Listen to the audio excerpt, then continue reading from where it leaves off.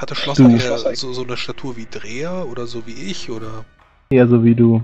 Ich glaube, ich sollte mich mit Dreher zusammensetzen. Er wird wahrscheinlich das technische Know-how haben, ich das medizinische. Dann fangen wir an zu werkeln. Ihr wollt also aus einem abgezogenen Gesicht jetzt eine Maske machen. Ja. Oh mein Gott. Willkommen mit die Genesis. Also sagen wir so, selbst für die Genesis seid ihr eine Psychopathenrunde. Was?